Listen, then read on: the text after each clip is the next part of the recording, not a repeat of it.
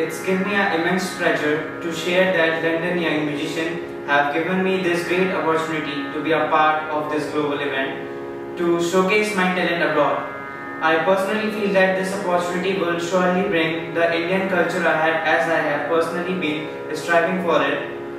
No other platform could have given me this great start for my future endeavors. Thank you London Young Musician.